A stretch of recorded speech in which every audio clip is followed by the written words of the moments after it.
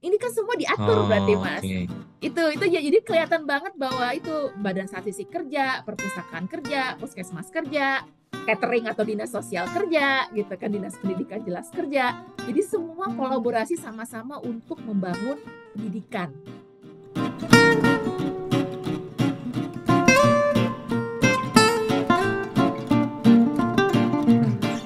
Halo teman-teman sekalian, eh, ketemu lagi kita di Oase Pendidikan, eh, sebuah program yang mengupas eh, pendidikan dengan mengajak ngobrol orang-orang atau siapa pun mereka yang cukup concern di bidang pendidikan. Dan saya kali ini masih ingin ngajak ngobrol Mbak Ratih Adiputri. Beliau ini adalah seorang diaspora, dosen di Finlandia, dan juga penulis buku. Sudah dua buku yang beliau tulis. Yang pertama adalah eh, belajar cara belajar dari Finlandia, eh, dan yang kedua adalah belajar cara mengajar di Finlandia. Dua-duanya diterbitkan oleh eh, Kepustakaan Populer Gramedia. Dan eh, saya ingin ngajak ngobrol nih episode yang kedua. Di episode pertama sudah mengupas sedikit eh, tentang bagaimana Finlandia sebagai sebuah negara maju yang mereka maju karena pendidikan. Dan sekarang saya ingin lebih dalam lagi menggali Finlandia sebagai negara yang cukup maju bidang pendidikannya dan apa yang bisa kita ambil sebagai bangsa yang juga sedang berproses untuk menjadi negara maju dari sebuah negara Finlandia ini. Halo Mbak, apa kabar? Halo Mas Iwan, kabar baik? Apa kabar Mas Iwan? Alhamdulillah sehat-sehat. Semoga semuanya sehat dan saya tahu eh, mm, di Finlandia tentu eh, menarik gitu ya. Eh, banyak hal yang berbeda dengan di Indonesia, terutama Selalu. saljunya di Selama Indonesia. saljunya, ini salju Nggak terus, ada salju ya. minus. Iya, di sana minus 30, di sini plus 40 gitu ya. Bedanya jauh ya, Mas.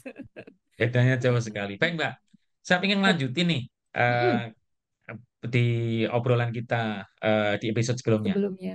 Saya pengen coba untuk mencari tahu nih, sepanjang pengetahuan Mbak Ratih sebagai orang yang sudah cukup lama tinggal di Finlandia. Eh, pertanyaan saya, apa sih sebetulnya identitas asli, identitas otentik bangsa Finlandia itu, Mbak? Identitas otentik. Oh, bingung. Pertama kali datang itu orang bilangnya Finland itu ada ada ada motonya sisu. Sisu tuh kayaknya wah, kekuatan diri sendiri gitu ya. Itu sisu.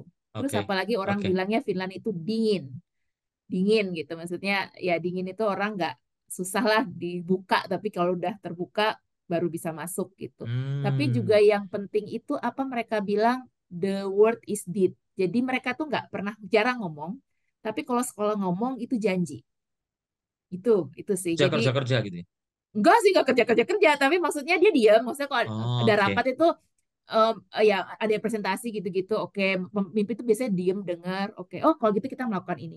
Kalau itu sudah terungkap, udah di apa sih Sampaikan. dibicarakan, disampaikan, Mhm. itu janji akan diselesaikan artinya. Gitu. Jadi Hmm, kadang-kadang kan kita kalau rapat, oh ya besok kamu ke sini ya gitu. Oh nanti saya kasih. Nah itu kalau udah omong itu tuh janji, walaupun hanya omongan ya, tidak ada hitam di atas putih gitu ya. Itu jadi Oke. apa ya Oke. eh, trustworthy-nya itu. Jadi mereka itu selalu menepati janjinya karena kalau sudah ngomong itu janji. Mending kalau enggak eh, kalau kita kan kebanyakan janji tapi nggak pernah di se- apa nggak pernah ditempatin Ya, gitu. Jadi di sini kebalikan jarang terutama ngomong tapi sekali ngomong masa-masa sekarang ya kan. itu dia itu jadinya eh, kalau kita balik lagi ke episode yang yang sebelumnya kita ngomong bangsa maju dekat berkat pendidikannya ya betul Mm-mm. jadi kekuatan suatu bangsa itu sebenarnya kekuatan masyarakatnya masyarakatnya kan apa ya ya kuat secara intelektual juga sehat Mm-mm. fisik dan mental Mm-mm. gitu kan mas jadi bukan Ya, hanya ya, ya. pemimpinnya aja yang kuat tapi masyarakatnya kuat yang yang das, mendasar lah pendidikan bisa bagus kesehatan ditanggung. Jadi mungkin di situ ya eh, Finland itu bisa menjadi eh, negara paling bahagia di dunia enam tahun berturut-turut ya karena Iya, yaitu berapa tahun, Pak? Berapa tahun tahun berturut-turut? enam kali berturut-turut Enam kan tahun ya. enam tahun berturut-turut gitu. Memang karena mereka melihat dari itu ya eh, minimnya angka korupsi juga GDP ya apa namanya Hmm. tingkat perekonomian mereka, tapi juga ini kan eh, apa kehidupan mereka yang panjang, mereka masyarakat yang suka membaca, mereka bisa memiliki Ya, ya, ya, ya. apa ya eh, kebebasan pribadi untuk memilih. Nah, ini kan suatu hal yang menunjukkan bahwa budaya itu bisa dibentuk sebenarnya. Kalau kita berkomitmen untuk itu, kita bisa sebenarnya mewujudkannya gitu. Saya coba hubungkan dengan pendidikan ya. Betul. Karakter tadi itu. Mm-mm. Eh, apa di episode sebelumnya Mbak Ratis menyampaikan bahwa eh, kolaborasi, terus kemudian juga eh, budaya mendengar gitu ya Hmm. dari eh, orang-orang di eh, Finlandia itu ternyata cukup eh, membuat eh, elemen atau penguat dari elemen majunya sistem pendidikan di Hmm. Eh, Finlandia. Saya ingin dengar pendapat Mbak Ratih lebih Mm-mm. jauh nih tentang hal tersebut. Mm-mm. Seperti apa tuh Mbak? Seperti apa? Jadi gini, misalnya kalau kita ya di balik ke pendidikan dan kolaborasi mendengar tadi ya budaya. Hmm. Kalau kita di Indonesia kan bagi rapot, guru udah nilai bagi rapot gitu doang ya. Kalau di sini enggak, di sini ada namanya diskusi evaluasi. Setiap semester ada, sekali dalam semester, jadi dua kali ya satu tahun itu guru biasa bikin apa survei gitu di di di uh, kapan kamu punya waktu dia punya kasih waktu ini ini ini jam segini kita milih kapan bisanya. Saya sudah melakukannya kemarin sebelum liburan ini karena ada dari Desember sampai sampai uh, Januari ada dilakukan. Nah di situ itu hanya waktu guru orang tua dan siswa ketemu setengah jam. Anak sudah dikasih lembar assessment. Pertanyaannya itu apa pelajaran yang kamu sukai? Apakah makanan di sekolah enak? Apakah kamu punya teman apakah kamu di gimana suasana di kelas gitu. Udah nanti di balik lembar sebaliknya jadi anak tuh cuman bikin emoji atau bikin warna seberapa banyak sih dia sukanya gitu ya di diwarnain. Eh, terus uh, guru apa di di lembar se, sebaliknya orang tua ber, menyatakan gimana anak ini di rumah? Gimana dia menerima pelajaran? Apakah dia bertanggung jawab dengan PR-nya apakah apa apa harapan kamu gitu anak-anak? Biasanya saya selalu bertahun-tahun selalu ingin guru tuh tolong bantu dia bahasa finishnya karena saya tidak membantu dalam bahasa finish kan itu selalu. Tapi untuk kali ini uh, anak saya sekarang kelas 5 itu tidak karena memang sudah menunjukkan betapa dia sudah lebih apa ya maju lah dari dari sebelumnya. Nah dari situ kelihatan kan bahwa anak suara anak itu didengar sama gurunya dan orang tuanya. Suara orang tua sebagai pihak di rumah didengar oleh guru. Hmm. Gitu. Nah ini ini ini kan suatu apa ya kolaborasi yang dari awal dari sekolah itu sudah didengar Ya, ya, dan itu ya, ya, sebenarnya ya. bukan hanya di SD di TK pun seperti itu.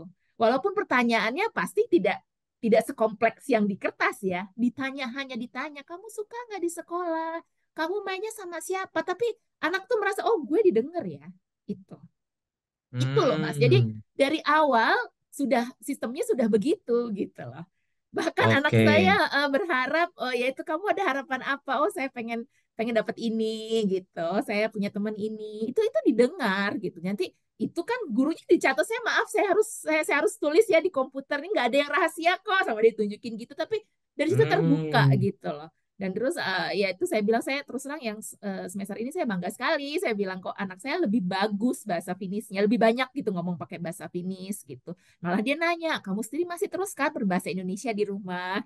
Hal seperti ini loh mas yang menurut kami apa ya ya itu gurunya kalau di di Finland guru guru itu guru kelas. Jadi ngikutin banget dari kelas 1 sampai kelas 6 baru yang nanti. SMP itu yang moving class yang pernah Mas Iwan cerita itu itu di pendidikannya, Mas. Jadi kita lihat betapa mereka mendengar semuanya nanti. Kadang-kadang uh, si siapa tuh namanya uh, uh, prinsipal apa sih kepala sekolah datang. Nah nanti ada hal besar yang kira-kira kita orang tua pernah diundang besar guru guru kepala sekolah tuh ngomong dan di situ kita berdialog apa sih maunya kita gitu waktu itu ada waktu zaman SMP gitu kita diundang karena ini ada kecenderungan anak-anak nggak mau nggak mau uh, keluar main keluar sekolah gitu nggak mau. Jadi kan kalau di sini kan harus istirahat tuh harus mas keluar keluar gitu. Kalau udah musim dingin kayak gini kan males anak-anak pakai jaket. Jadi mereka pada nyumput-nyumput sembunyi-sembunyi di mana gitu. Nah ini guru-guru jadi uh, apa ya prihatin terus ngobrol sama orang tua itu diundang orang tua semua. Biasanya jam 6 jadi kan udah nggak nggak udah udah lewat mas, masa sekolah kan. Jam sekolah udah selesai gitu tapi diundang itu gimana ya? Apakah saya kami perlu memperlakukan terserah aja? Apa tetap harus mereka terus keluar? Karena kan udara segar itu tetap diperlukan di sini. Ya udah polling kita guru-guru apa orang tua maunya gimana caranya keluar? Nggak apa-apa nih agak keras. Nggak apa-apa. Nah kayak gitu.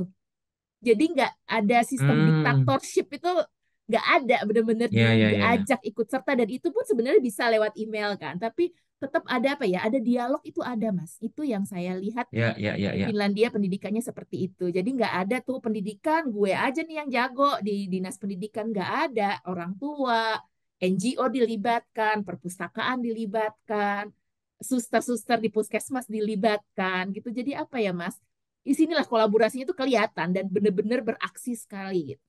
Itu yang saya rasakan.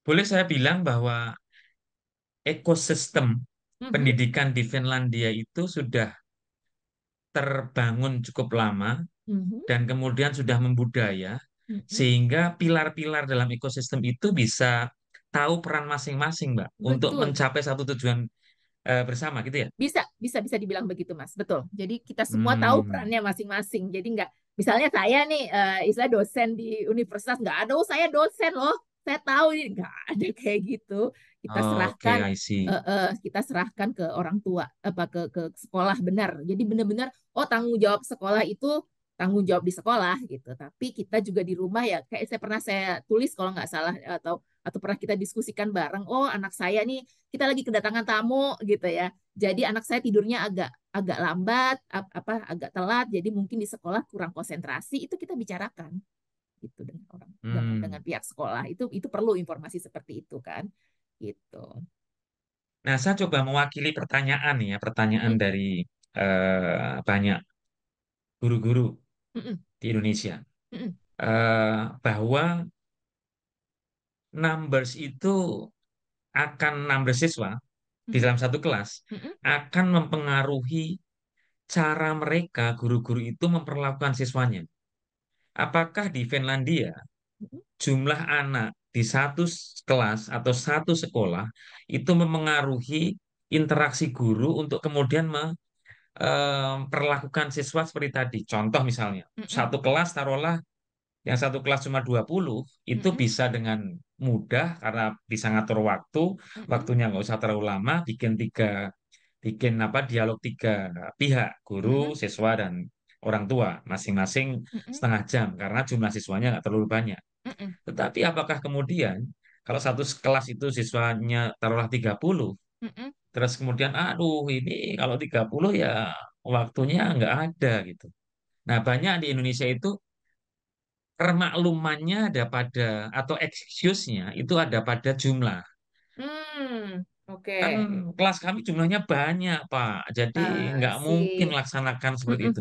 Gimana menurut Mbak Rateh ini? Tapi memang ini ya eh, senangnya ngobrol sama Mas Iwan karena Mas Iwan benar-benar praktisi pendidikan jadi tahu banget ya. Tapi berarti sekarang di di Indonesia masih sekitar tiga puluh empat puluh per kelas Mas, satu guru pegang. SD 28, Mhm. SM, SMP maksimal 32, Oh, SMA bisa sampai 36, 38. oke, betul. Iya sih kalau di sini sekitar 20 sampai 24 satu guru. Kita Jadi kalau ngaruh ya. bicara jumlah kan berarti kita bandingkan dengan dengan apa eh, jumlah penduduk secara keseluruhan ya populasi negara ya. Tapi Betul. sebetulnya kan semangat yang mau dibangun bukan tergantung jumlah kan Mbak, sebetulnya Bukan, ya. bukan, bukan Yang mau tergantung dibangun jumlah. adalah Iya. Spirit, Mm-mm. esensi dari Mm-mm. guru untuk memperlakukan siswanya seperti apa yang dilakukan di Finlandia kan. Betul, betul. Jadi kan maksudnya kadang-kadang suka begitu, Mas. Eh, Jadi kalau misalnya apa eh, praktisi pendidikan atau pembuat kebijakan di Indonesia sering kan datang ke Finlandia, studi banding Mhm. katanya gitu. Selalu akhirnya udah diberi macam-macam gini informasi, tetap akhirnya wah tapi kan Indonesia besar, lain sama Finlandia yang penduduknya homogen. Akhir-akhirnya selalu kembali ke situ. Tapi ingat, di mana-mana mau di Finlandia, di Cina, di India, di di Norway sama satu kelas itu ada murid, ada siswa, ada guru, dan ada bahan yang harus diajarkan. Itu universal di mana-mana gitu. Jadi ya itu hanya ngaturnya itu saja. Cuman memang harus pakai ini ya, eh, research base, harus pakai data. Itu seberapa efektif sebenarnya. Karena saya ingat dulu zaman saya satu kelas cuma 40 anak kan Mas, zaman zaman SMP SMA Yes. itu. Itu jalan tuh buktinya kita jalan tapi saya ingat dari SD kami sudah membaca buku itu ada di perpustakaan masih jalan di SD kalau saya ngelihat ya gitu. Jadi saya nggak perlu Ya. perlu lebih banyak buku tapi saya jadi me- apa suka membaca buku tuh dari situ dari kecil.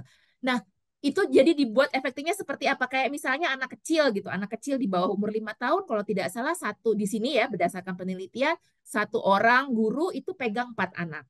Itu penelitiannya. Hmm. dan terus kalau untuk SD atau anak yang lebih sulit gitu yang eh, apa ada ada ada apa ya ada eh, kayak semacam gangguan lah disleksia atau autis atau apa itu satu guru tujuh gitu untuk anak yang Hmm. eh, yang yang memiliki kebutuhan khusus misalnya.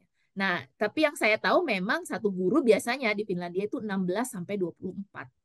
24 25 Oke. satu kelas tuh biasa gitu emang tidak tidak besar dari itu. Jadi emang ruang kelasnya juga kelihatan gitu ya yang ber- berubah berubah kan yang saya bilang ada kelas ada ada ada lacinya gitu tuh barang-barang dia dan itu bisa dirubah-rubah gitu mau bentuknya U mau bentuknya apa gitu ada beanbag ada apa di kelas Ya, jadi ya, benar-benar ya, kelas ya. tuh nyaman gitu. Jadi itu ya kalau misalnya kita 40 kalau nggak salah dulu memang kelas kita kan besar sekali ya Mas ya. Yang saya rasa gitu loh dulu di saya dulu di SMP SMP 8 Jogja sama SMA 1 tuh kelas tuh besar jendela-jendela terbuka gitu ya Mas ya tuh gitu. Jadi apa ya menurut saya sebenarnya ya niatnya kita aja dulu gimana gitu di kelas karena kan eh, ya. eh, eh, saya ngelihat sebenarnya pelajaran tuh hampir saya agak-agak lupa tapi justru teman-teman jadi ingat teman kan. Itu jadi ada banyak aspek sebenarnya di sekolah tidak hanya pelajaran aja kan kita belajar berinteraksi dengan orang, kita mengembangkan bakat gitu kan karena saya ingat dulu saya sebenarnya tidak jago main olahraga gitu stamina nggak kuat gitu tapi karena dianggap tinggi suruh main basket gitu. Jadi guru tuh merasa potensi anak itu bisa dibentuk kayak gitu gitu. Jadi apa ya ya ya itulah. Jadi maksudnya ada ada aspek-aspek yang yang bisa dikembangkan sebenarnya. Hanya kita mau nggak ngedengerin guru gitu ya. Karena saya ngerasa di Ya, ya, sini ya. saya ngedengar banget gitu. Karena guru kan bilang oh anak kamu kok cepet banget ya dengar melodi. Coba kamu masuk ke kelas musik. Itu kan saya nggak tahu kalau nggak dari gurunya yang ngomong Nah, ya Hmm. gitu kita kesempatan-kesempatan itu kita dengar dari guru. Nah, itu yang guru juga bilang, "Oh, ya udah kita bahasa Finlandia tuh urusan kita deh. Kamu di Indone- apa di rumah pakai bahasa Indonesia aja. Nggak apa-apa." gitu. Nah, kayak gitu tuh saya dengar dari Ya, ya, ya, ya. guru gitu. Dan akhirnya bener kan? Pas anak saya lulus SD itu mereka semua bahasa bahasa tiga bahasa malah kuat gitu. Maksudnya bisa bahasa Indonesia, Ya, bahasa ya, ya, Inggris, ya. bahasa Finlandia gitu. Dan tanpa saya harus intervensi bahasa Finlandia itu gitu. Mm-mm. Jadi apa Ya, ya, ya, Mas? ya. Dan Kolaborasi kan ini Mbak ya. Cep, eh, apa tadi kolaborasi terus kemudian mendengar gitu ya. Mm-mm. Cukup menarik karena itu dilatihkannya di sekolah melalui Yes, model berbagai macam model. betul. Model di dengan tadi apa satu dua tiga guru siswa dan orang tua Mm-mm. mendengar. Yes, Eh, terus kemudian anak mulai dilatih eh, suaranya didengar oleh yes. eh, guru dan orang Orang tua dewasa. oleh orang dewasa di sini ya. Betul, Terus betul. kemudian eh, apa tadi saya katakan ekosistem dibangun Mm-mm. sudah terbangun gitu.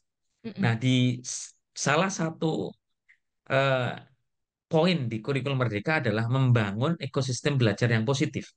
Yes. Ada kata ekosistem, Mbak. Mm, mm, Kalau Mbak Latih melihat gimana? Di Indonesia ini apakah bisa sa- dikatakan bahwa ekosistemnya sudah terbangun, sudah siap, atau masih satu dengan yang lain antar, antar elemen dalam ekosistem pendidikan itu masih belum nyatu ya? Oh, oh, Gimana s- Mbak melihat? elemennya sudah ada, benar kata Mas Iwan. Eh, elemennya sudah Ya, ada, ya. ada puskesmas, ada kesehatan, ada tempat eh, ini ada, tapi kan belum efektif semua. Nah, sekarang bagaimana mensinkronisasikan hal ini gitu kan? Nah, itu tadi yang dari Hmm, awal ada disebutkan eh, tadi kurikulum Merdeka itu hanya buatan dari atas para birokrat di atas yang belum tentu guru kalau menurut saya. Apalagi saya tahu beberapa orang malah latar belakangnya bukan latar belakang pendidikan, hanya sarjana apa gitu maksudnya bukan bukan hanya ya tapi maksudnya sarjana di bidang yang lain di luar pendidikan tidak pernah mengajar di sekolah tiba-tiba harus jadi birokrat terus membuat kurikulum gitu nih tanpa melibatkan hmm, guru oke. nah itu juga kan jadi Ya, susah ya, ya. nah harusnya kalau misalnya tadi oke lah taruh di satu-satu kabupaten kota gitu ya eh eh, buat pilot project atau memang terserah mau dari pusat atau dari dari daerah itu sendiri kalau kepala dinasnya bagus atau kepala daerahnya bagus oke sekarang kita bikin yuk apa namanya sekolah sekolah unggulan lah intinya ya bukan sekolah unggulan tapi siapa yang bisa gitu jadi di situ mulai yuk dari dari dibentuk dari sekarang saya pikir tuh dalam waktu lima tahun bisa loh Jadi anak-anak kelas 1 sebelum masuk sekolah yang dari TK itu jadi misalnya BPS-nya jalan dong ya, statistiknya jalan berapa anak sih yang perlu masuk ke SD. Itu dilihat kan. Karena kita di sini selalu mendapatkan surat, "Oke, okay, kamu anak kamu bakal masuk SD ini loh, SD SD terdekat kamu pilih yang mana." Itu udah dari situ, dari kelihatan. Jadi anak saya ini sebenarnya SD-nya paling gitu, jauh. Ya? Dikirim. Jadi ya itu apa ya? Suatu warga itu ngerasa eh, kita kita bayar pajak itu dikirimin bayar pajak itu memang ini loh pajak tahunan kamu, jadi kamu bisa lapor. Ini loh apa namanya eh, surat suara gitu. Jadi kadang-kadang dibilang kita nggak ikut itu yang untuk daerah kita diminta ini surat iya, suara yeah, yeah, kamu yeah. bisa milih apa enggak. Ini loh ini jadi semua diberitahu. Nah anak SD kan dia tahu oke okay, ini anak masuk SD, jadi dia tahu anak SD di daerah kami itu berapa banyak, berapa ratus bukunya disiapin. Itu jadi dari hitung kan. Itu yang ngirimin siapa? Pemerintah yang ngirimin... daerah pemerintah daerah. Oh, pemerintah, pemerintah daerah dinas. kabupaten atau kota madya mm -hmm. gitu ya? Iya. Yuvaskula apa Di sini boro-boro tahu ya. Nah makanya kota Yuvaskula kok yang ngirim. Jadi makanya yang itu tadi. Kalau kita kan juga masih di di pusat pun kayak gitu kan Mas. Oh, Dep Kominfo ngeluarin soal etik AI. Ini ngeluarin ini. Di di Finland itu pengumuman visa itu dari pemerintah Finlandia, Mas. Ada YouTube-nya pemerintah Finlandia tuh macam-macam dari peneliti pendidikan, Menteri Perdagangan, Perdana Menteri ngomong apa itu di mm-hmm. situ. Jadi kita bisa ngikutin di situ mm-hmm. gitu. Nah, ini juga pemerintah daerah kan ada juga website pemerintah daerah kirim ini anak kamu masuk sekolah nih waktunya masuk sekolah itu bisa Januari itu dikirimnya nanti pertemuan pertama apa belum kamu mau sekolahnya di mana nih? Ada tiga dekat tempat kamu. Kamu mau yang mana? Nah kalau kita udah memilih itu kan dimasukin ke sistem. Oh anak ini orang ini mau pilihannya ini. Karena anak saya saya pilih sekolah yang paling jauh. Terus terang karena di sekolah itu yang bekas sekolah anak saya dulu ada kelas musik dan saya pengen anak saya masuk kelas musik lagi gitu kan. Jadi uh, dan uh, dan itu sih tanya kenapa kamu di situ? Saya bilang ya faktornya saya tahu kan mereka tuh penting banget anak-anak tuh punya teman. Oh dia punya teman kok di situ teman dari musiknya. Gitu jadi saya pengen di situ.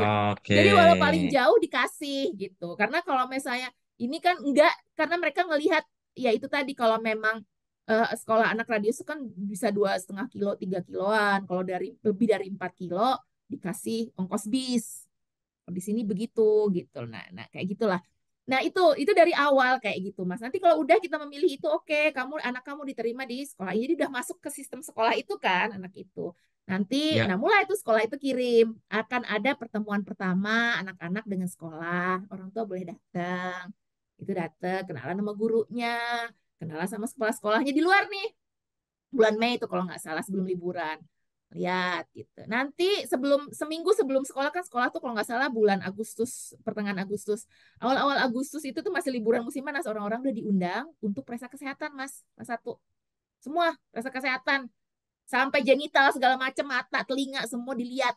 Dia pakai kacamata nggak? Dia badannya bagus nggak? Ini ini ini itu mas. Jadi kalau misalnya dia perlu pakai hmm. kacamata dokternya kasih resep kacamata cari kacamata. Itu. Penelinganya gimana? Itu mas Nah dari situ kelihatan oke okay, ada dua waktu itu ada tiga kelas jadi dua kelas pertama dua dua kelas satu gitu ya, sama satu kelas transisi karena ada yang anak disleksia, ada yang pendengarannya kurang, ada yang autis, ada yang inilah hyperaktif itu ditaruh di kelas khusus mas. Iya iya iya. Kayak gitu ya biasanya gurunya dua, biasanya guru satu tambah guru special teacher education itu gitu. Nanti kelas 3 juga gitu ada pemeriksaan gigi itu kelas berapa kelas 5 gitu. Jadi selalu ada pemberitahuan. kita kalau orang tua juga nggak sadar gitu ya, tapi ada di sistemnya. Jadi kita guru juga data oh ini minggu ini nih minggu cek kesehatan nih pasti anak-anak akan pergi jam-jam berapa gitu. Karena kan itu surat dari pemerintah kesehatan dan kerjasama sama jadi bisa pemeriksaan kesehatan di kelas di, di sekolah atau di puskesmas terdekat gitu. Jadi itu Mas, jadi apa ya? Nah itu kan terus nanti kalau misalnya di sini di sekolahnya anak saya tuh dua minggu sekali ada bis apa perpustakaan keliling tuh datang. Seminggu sekali sebenarnya tapi gurunya tuh buat dua minggu sekali yeah, yeah, yeah. anak-anak harus pinjam gitu. Pinjemnya di perpustakaan karena harus baca buku. Itu kan berarti kerjasama perpustakaan daerah mas ya kan? Mm-hmm. belum lagi makan siang. Mm-hmm. makan siang tuh catering. Yeah. nah ini kemarin ada uh, demo besar-besaran. Orang-orang pekerja-pekerja servis seperti tukang bis tukang catering itu mogok karena gajinya kurang. Ya udah di, diberitahu bahwa tidak ada bis dan makanan tidak ada di sekolah. Nah, kayak gitu. Mm-hmm. karena itu ngaruh gitu loh. Nah kayak gitu ada makanannya dan mereka itu per makanan dilihat per dua minggu itu ada menunya di website menu makanan anak sekolah Hmm, itu sama ya tuh Mas. ya. Sop apa aja kita lihat dan biasanya tiga kan, ada satu yang menu vegetarian pasti, dua menu apa gitu. Itu dan itu biasanya menu makanan itu sama dengan menu Ya, untuk ya. panti jompo dan menu di rumah sakit. Ini kan semua diatur berarti Mas. Oke. Itu itu ya jadi kelihatan banget bahwa itu Badan Statistik kerja, perpustakaan kerja, puskesmas kerja, catering atau dinas sosial kerja, gitu kan dinas pendidikan jelas kerja. Jadi semua kolaborasi sama-sama untuk membangun pendidikan, untuk membangun kualitas Selain masyarakat kolaborasi, selain kolaborasi juga terintegrasi ya Mbak ya, sistem satu dengan yang lain gitu. Betul, betul. Dan ini yang kita sebenarnya ngelihat bahwa mereka ini eh, apa ya bukan bukan dalam arti jadi soalnya ada teman saya bilang ke Cina, udah gila ya surveillance-nya ketat banget gitu karena sekarang kan udah pakai Ya. AI di mana-mana katanya pakai apa masih ya kelihatan mukanya jujur jujur informasinya Mm-mm. ada gitu ya. Sebenarnya Finland tuh kayak gitu, tapi cuman karena pemerintah trustworthy gitu karena kan kita sekali datang kan kita dapat Oke. nomor tuh. Nomor itu tuh berguna buat semua, buat bayar pajak, buat eh, janjian eh, kesehatan, buat beli apa gitu. Karena kadang kan kalau beli apa-apa, kita kasih nomor kita itu aja, pulang nggak bayar bisa gitu. Kayak ke dealer mobil itu NIK. mas. Eh, ya NIK, tapi nomornya singkat sih. Jadi National Identity Number kalau di situ kali ya. Iya, security number Oke. namanya. Itu, jadi itu jalan Hmm. banget gitu. Jadi pasti tercatat gitu.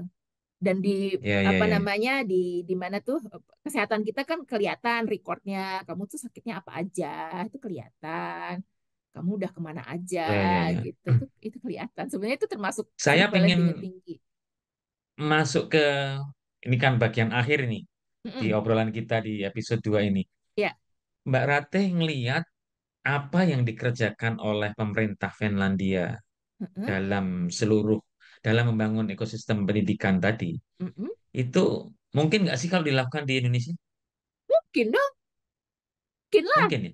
mungkin mas tapi Nah, ya itu eh, keniatan kita gimana mungkin dengan gimana syarat gitu ya. Syaratnya mungkin apa dengan nih, syarat requirement-nya gitu ya Requirement-nya apa nih kira-kira? ya semua pihak mau mau mendengar. Yang pertama kita Mau tahu ya? budaya, ya budaya kita kan tadinya itu masih hierarkis tadi kan. Yang di pusat merasa lebih tinggi daripada yang di daerah, ya kan? Guru-guru tidak dianggap, guru-guru di SD lebih, lebih tinggian guru apa dosen di universitas dong. Ada hierarki-hierarki seperti ini loh yang tepat kita. Ya, Nah, ya, ini ya. ini yang agak susah. Tapi sebenarnya bisa sih. Ya intinya itu tadi duduk sama rata, kita mau denger karena setiap orang pasti punya keahlian masing-masing gitu. Guru di kelas kan pasti lebih tahu anak-anak di kelasnya. Eh, Pemerintah eh, dinas daerah kan mungkin lebih tahu eh, apa sih namanya soal-soal keputusan yang di pusat yang nggak diberitahu. Nah, Ya, ini ya, ya, dibuka ya. sama-sama, duduk bareng yang duduknya nggak cuma satu dua jam, bener-bener seharian bisa satu mingguan gitu. Bener-bener Tapi kayak terus ya, terus terus gitu. dibangun. Iya dan dibangun terus terang heeh, komit dialog terus.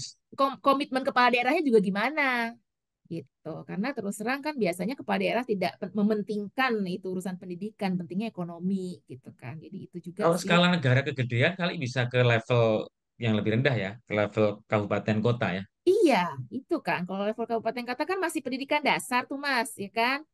Dan nanti SMP, nanti kalau itu baru SMK. Nanti SMK, SMA lain lagi gitu. Tapi kan yang di Ya, bawahnya ya, udah ya. terbentuk nih. Literasinya udah udah terbentuk gitu kan. Jadi kita investasinya tuh Ya, justru ya, ya. pendidikan. Di sini orang selalu ngomongnya peruskolo, pendidikan dasar itu dulu. Kalau udah pendidikan dasarnya bagus, gampang nanti ke depannya gitu. Ya, ya, ya. Jadi pendidikan eh, wajib belajarnya 9 tahun di sana. Di sini 9 tahun, 9 tahun tapi ya. bagus. Indonesia jadi sudah sudah mau lewat, sudah mau 12 tahun malah kalau 12 tahun tapi ya kapasitas anaknya 85% nggak paham literasi piye. makanya makanya itu yang menjadi PR besar bagi Itu PR kita besar kan. semua mm-mm, eh, mm. teman-teman Betul. sekalian. Jadi Mm-mm. eh, kita bisa belajar dari Finlandia, negara Mm-mm. kecil, hanya 5 juta penduduknya, dan kita tidak bisa bicara dalam skala negara dengan negara, Betul. tapi kita bisa ambil dalam skala eh, yang lebih rendah atau lebih kecil, kabupaten kota, yang Mm-mm. kemudian bisa mengadopsi cara-cara di Finlandia. Mbak. Rati, terima kasih ya untuk episode 2 ini. Sama-sama ngobrol-ngobrol Mas kita Iwan. sudah mengelaborasi lebih jauh tentang Finlandia.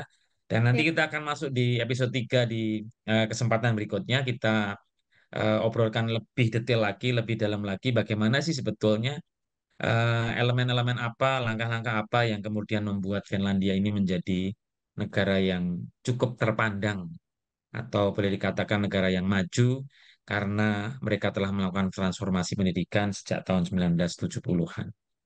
Uh, sekali lagi terima kasih Mbak Rati uh, untuk obrolan kita di episode 2. Teman-teman sekalian, uh, kita ketemu lagi di episode berikutnya. Masih nanti bersama saya dan Mbak Ratih Adi Putri di Oase Pendidikan. Sampai ketemu. Wassalamualaikum warahmatullahi wabarakatuh. Waalaikumsalam warahmatullahi wabarakatuh.